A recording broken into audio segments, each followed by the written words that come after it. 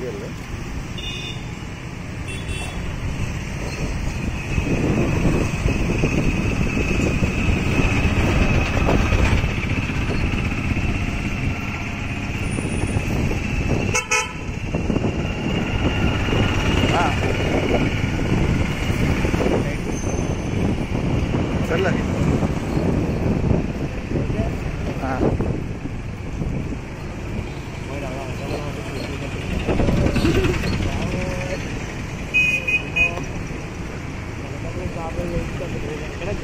रहेगा यार